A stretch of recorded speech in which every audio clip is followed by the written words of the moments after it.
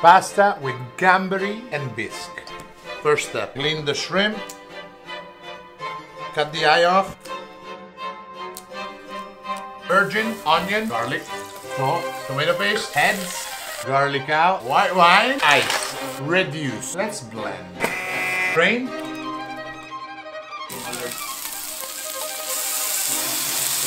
Estoy en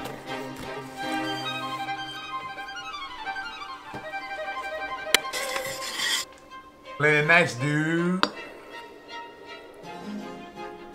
Buon appetito.